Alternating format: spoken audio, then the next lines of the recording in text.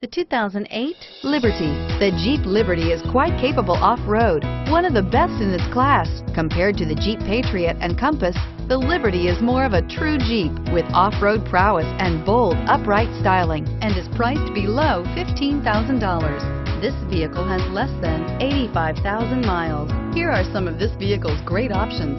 Steering wheel, audio controls, keyless entry, traction control, leather-wrapped steering wheel, alloy wheels, power steering, air conditioning, front, cruise control, automatic stability control, auto-dimming rear view mirror, PPO.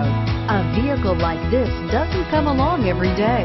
Come in and get it before someone else does.